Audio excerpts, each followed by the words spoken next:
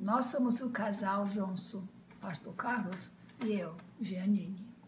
Damos graças a Deus pela maneira que Ele tem abençoado o ministério de Sua palavra entre as igrejas do Campo Piauí, Maranhão.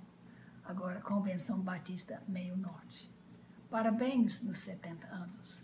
Nunca esqueceremos os anos que passamos entre as igrejas aí, porque o Brasil ainda tem seu lugar dentro de nosso coração. Sou Pastor Carlos.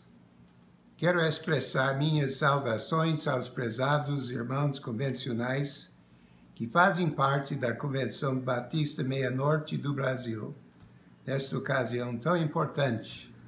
70 anos de trabalho dos missionários da Missão Batista Conservadora do Brasil, junto com os amados irmãos brasileiros. Que alegria é de ver o desenvolvimento desse trabalho que Deus tem abençoado.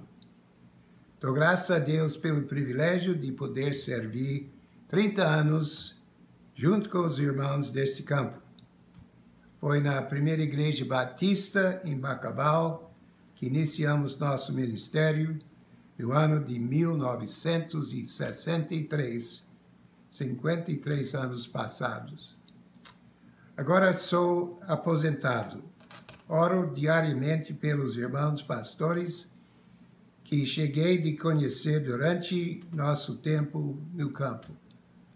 Na altura, nessa altura, quero relembrar aos irmãos do tema da campanha de evangelização nacional realizada em 1965 em todo o Brasil.